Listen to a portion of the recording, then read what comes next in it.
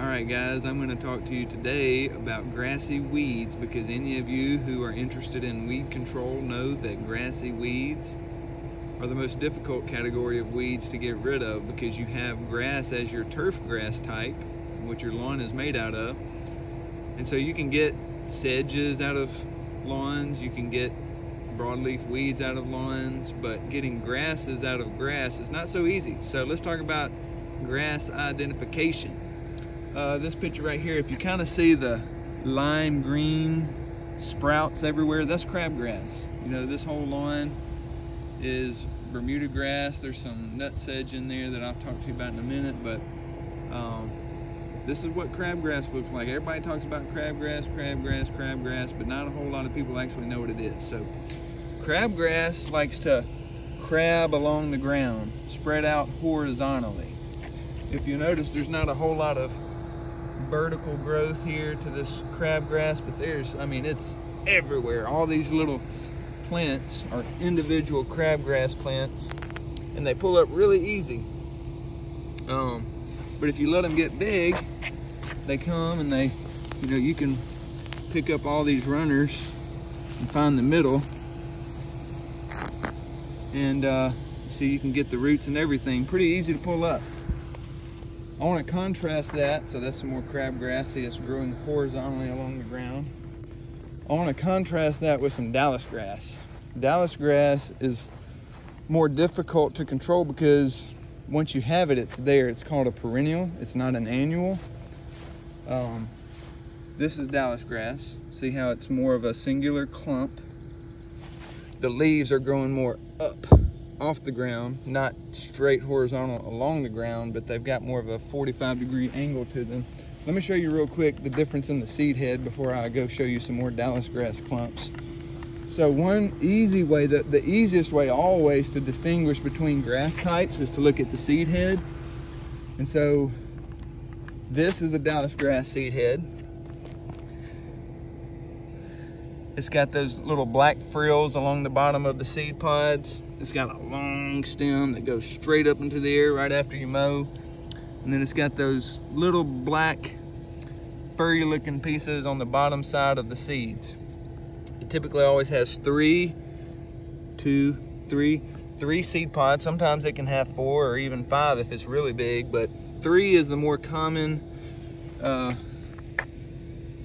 uh, number of seed pods that you'll see on a stalk, on a seed stalk of Dallis grass. Whereas crabgrass, let's see if I can find a, crabgrass seed heads aren't so easy to find, especially when it's really younger, you know, a lot more immature crabgrass weeds. But when you have your more mature crabgrass plant, you can typically find the seed head, but this must have been mowed only within the last few days. If you give it about a week, you should definitely, there we go.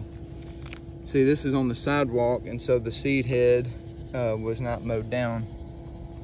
But a crabgrass seed head has got four of these. Uh, if you look at it from that angle, they're really similar to a Bermuda grass seed head. Um, a Bermuda grass seed head. This one has three of those seed heads. This one, the crabgrass has four crabgrass is gonna be a lot bigger. I put them side by side so that you can see them side by side. You have your crabgrass and your Bermuda grass seed head. A lot of times people will call and think that their Bermuda grass seed heads are weeds, but it's really just, uh, it's just the seeds of the grass. Uh, but anyway, back to my, um, so, so yeah, so that's the seed head difference in crabgrass and Dallis grass. What does Dallis grass clumps look like? So they're usually in singular clumps, not always. Uh, over here, right here, you'll see there's two, maybe three clumps all growing together, but you see the, the growth is a lot more vertical. It's going straight up into the air or 45 degree angles. It's not growing straight sideways along the ground.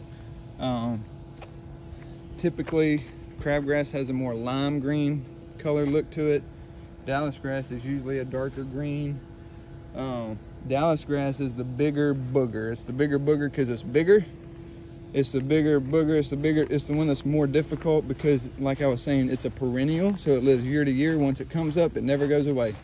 You have to dig it up or you have to kill it with a non-selective herbicide that then makes a dead spot in your yard. And so that's why Dallis grass is more difficult to get rid of. Crabgrass, on the other hand, is an annual, and you can prevent crabgrass every year. You might have a yard slam full of crabgrass. You put your pre-emerge out before, in our area in central Mississippi, you put it out before March 15th, and you can have zero crabgrass the next year. It's really nice. But Dallis grass, once it's here, and there's your seed head,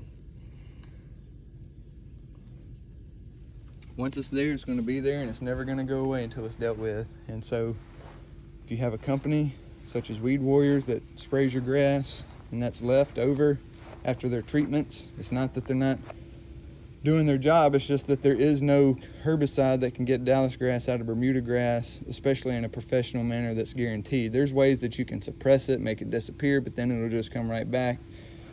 There's no one singular approach, but our approach is we just have to spray and make little dead spots. This right here is uh, carpet grass.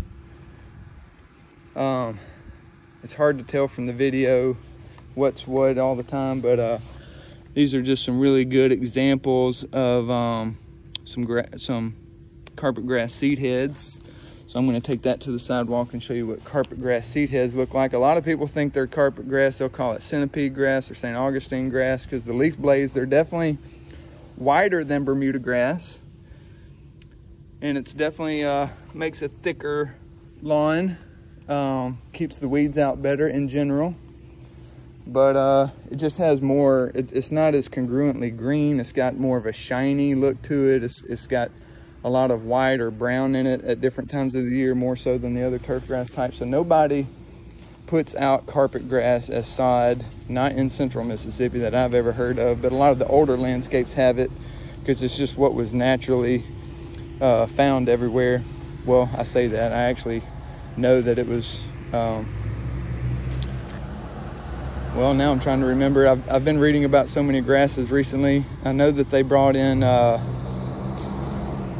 Dallis grass as a forage for cattle and we brought Bermuda grass over as a forage for cattle. And I want to say carpet grass was brought in as well. But anyway, uh, one more weed. So nut sedge is really vertical.